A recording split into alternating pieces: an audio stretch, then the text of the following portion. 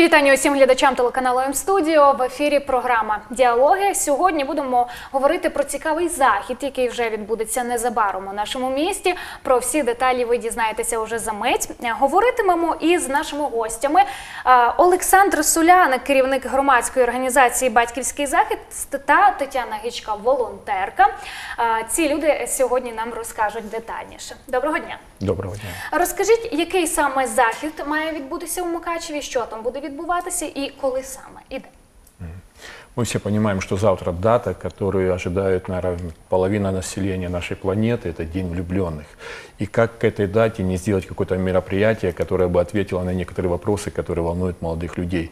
Итак, в субботу, это 15 февраля у нас 5 часов вечера в Центре громадскости и национальных культур, это бывший дом Русинова или будинок вчителя, будет молодежное арт-кафе, которое має назву «Формула кохання». Е, Як виникла ідея зробити саме такий захід? Наскільки ми розуміємо, це буде дуже романтично, а попри це дуже пізнавально та корисно. Такого мало в Мукачеві. Чому ви вирішили, що це нам потрібно? Хороший вопрос, почему это нам нужно? То есть, если есть нужда, должно быть какое-то предложение. Вы, как представили, я возглавляю общественную организацию «Родительская защита», которая уже 12 лет работает на просторах Украины, и мы работаем именно с подростками в учебных заведениях. Я в прошлом офицер милиции, я сталкивался с тем, что многие молодые люди рано разрушают свою жизнь, когда они что-то не ценят, и потом поздно, спохватившись, они думают, если б я знал, я бы это не совершил. И мы разработали программу, которая утверждена в Министерстве образования, и преподаем в учебных заведениях 22 урока, последовательно связанных друг с другом, где мы формируем моральные ценности, навыки и компетенции. Так вот, один из уроков, и эта тема самая желанная, имеет название «Взаимоотношения парней и девушек в период влюбленности. Что делать?». И мы на самом деле видим, что именно в возрасте 13-19 лет это самая-самая тема, на которую они хотели больше всего получить ответов. Потому что вот смотрите, что на них взваливается в этот период – то есть ты уже не маленький, ты большой. Ты должен отвечать за свои поступки. Ты думай о профессии, которую ты получишь. Что ты себе думаешь, играя, а кем ты будешь.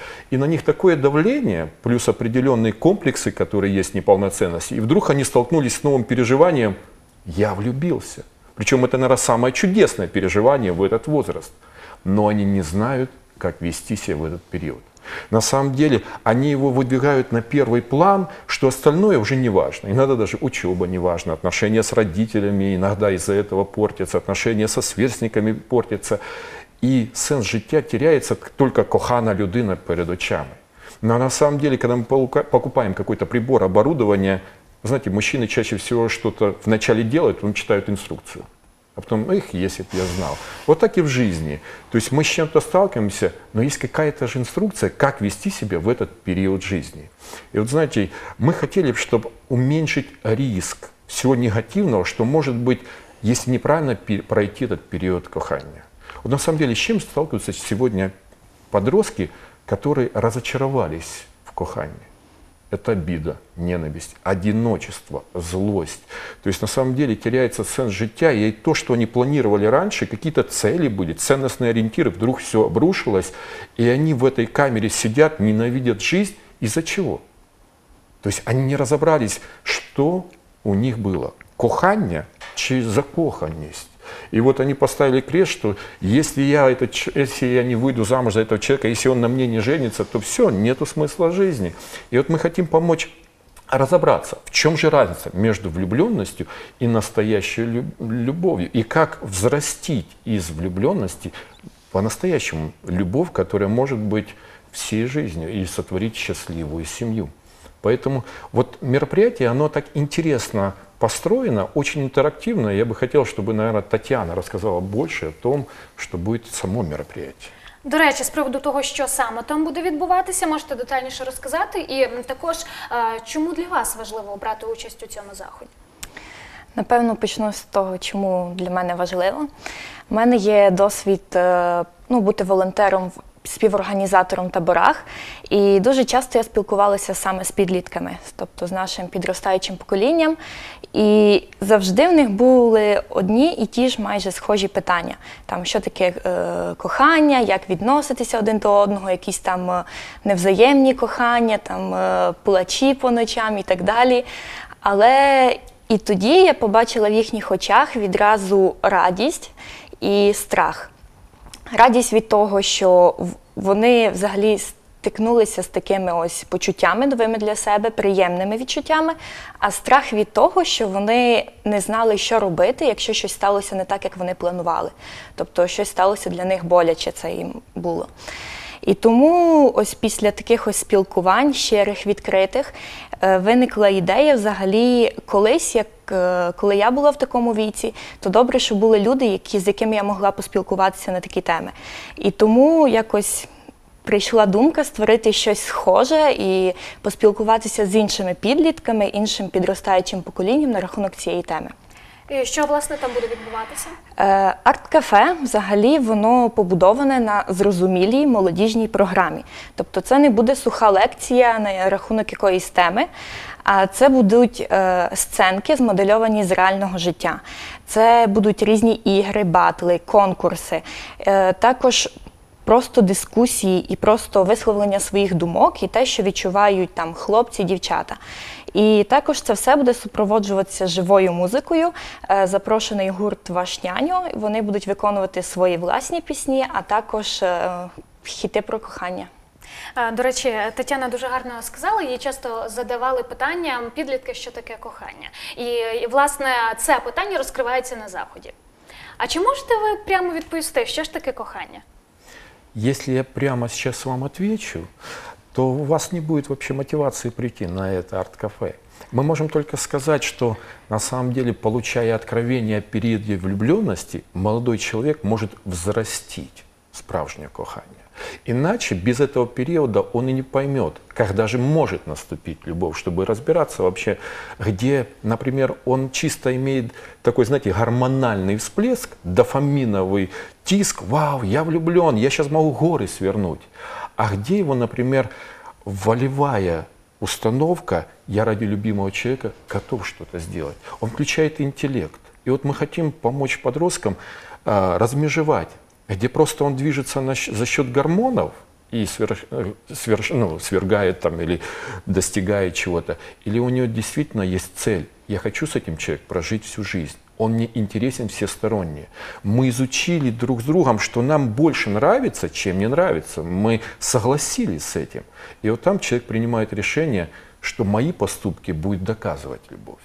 Потому что период влюбленности, на самом деле, человек влюблен, и об этом мы поговорим, кстати, на арт-кафе. Тоді, окрім цих питань, які ще будуть підніматися? Будуть підніматися питання, е, що робити, коли, коли ти закохався. Е, Це гра чи це дійсно справжнє кохання? Е, Що робити, коли немає взаємних почуттів?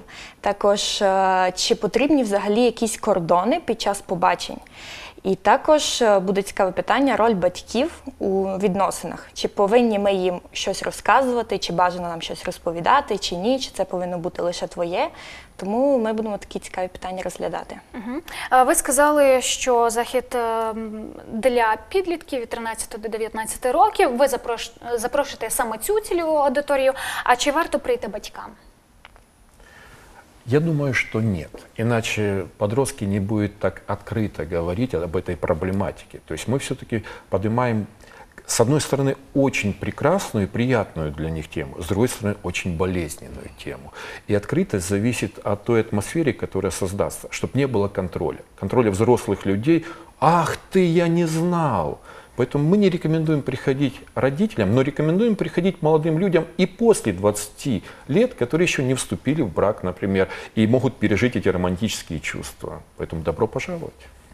Е, Також е, ви говорили, що буде дискусія, це один із пунктів заходу. Якщо її не буде, е, що будете в такому разі робити? Якщо підлітки будуть сором'язливі, не будуть хотіти говорити, чи можливо ті, хто зараз нас дивляться, їм варто підготувати якісь питання? Вы знаете, на самом деле это интерактивное мероприятие. То есть все построено на то, чтобы вовлечь именно молодежь и подростков в обсуждение. Поэтому они, это в виде беседы будет. Я думаю, что когда подростки собираются в кругу друзей, для них нет проблем общаться. Поэтому атмосфера будет вот такой дружеской беседы. И мы уверены, что это будет дискуссия, которая не будет войной, а будет «а я так думаю, а я так думаю». И вот знаете, наша цель не дать готовую на самом деле формулу. То есть ее на самом деле не существует. Но наша цель с ними выработать алгоритм кохания. То есть к чему может привести любое их действие, что, например, если они пойдут этим путем, они знали, что будет ожидать вот это, пойдут этим, вот это. Конечно, нам бы хотелось, чтобы каждый влюбленный человек сотворил счастливую семью, родил здоровых детей, и у них действительно была вот эта мецна родина. Но насколько человек захочет, это его выбор. Мы все-таки предоставим информацию, что его ожидает. И тем самым мы сократим риск ну, от, знаєте, этого разочарования, болі нещасних сімей. Наскільки я знаю, у вас вже є великий досвід організації таких заходів. А чи можете поділитися, де вони вже відбувалися, які питання ви піднімали, чи є результати?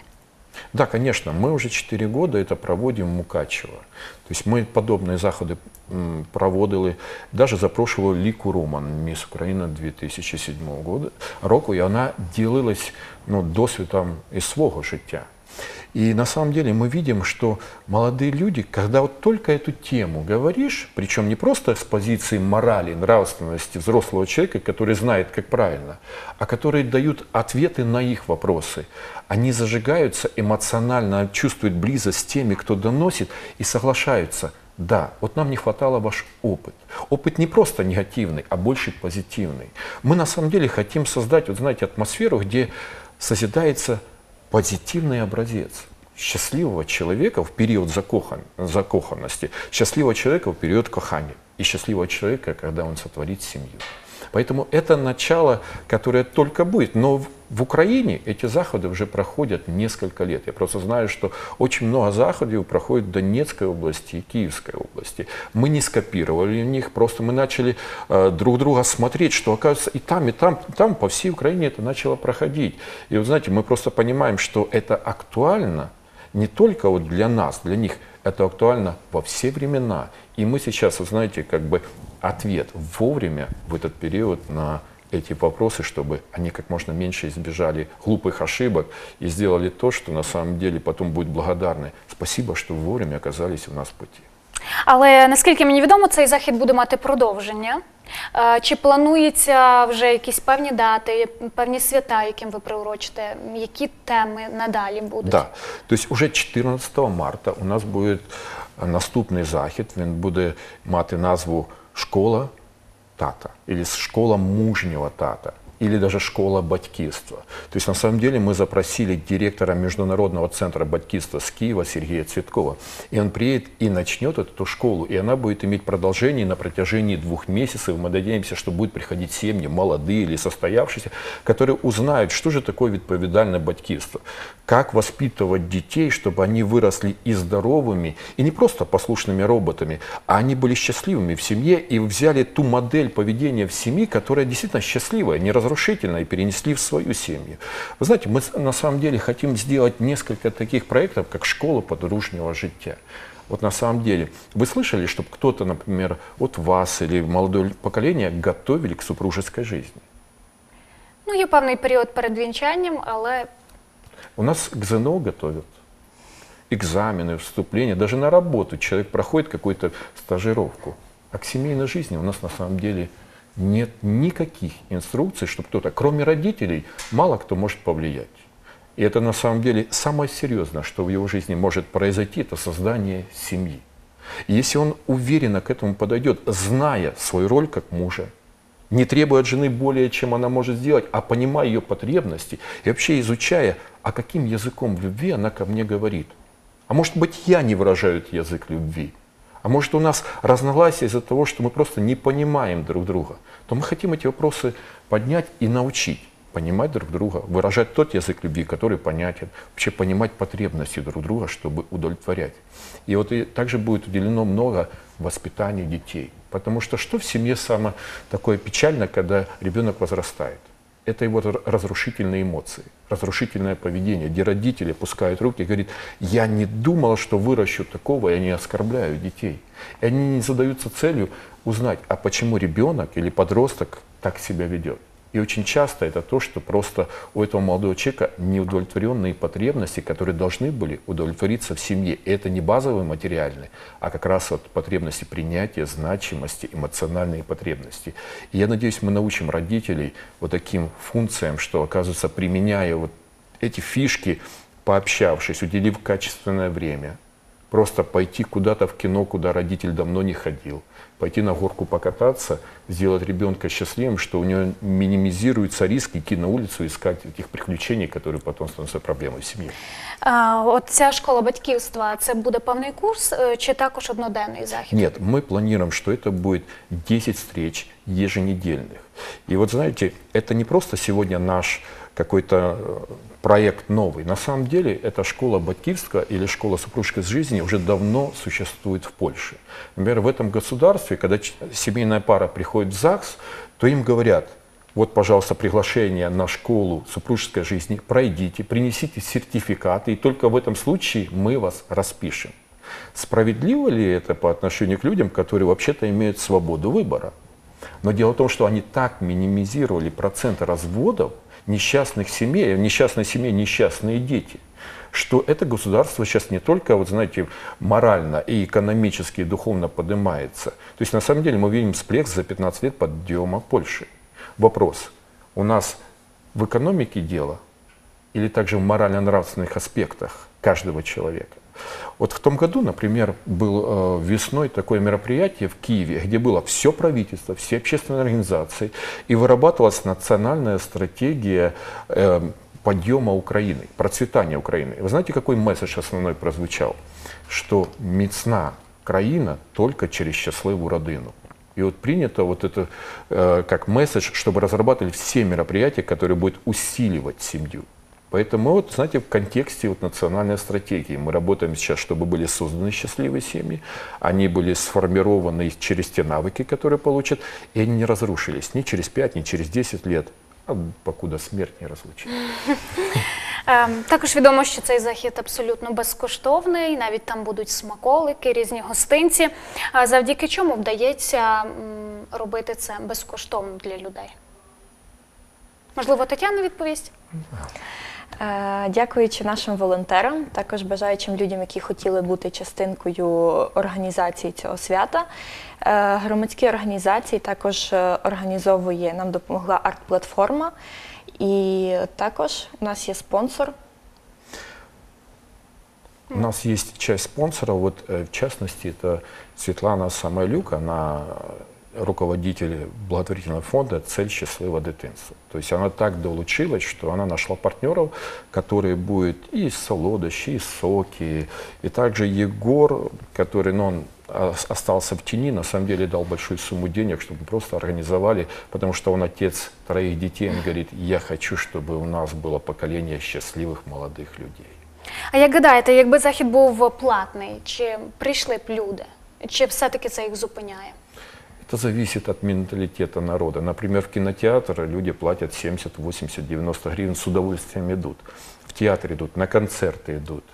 То здесь вопрос, видят ли они ценность в этом заходе. Мы не планируем, что это будет платные заходы.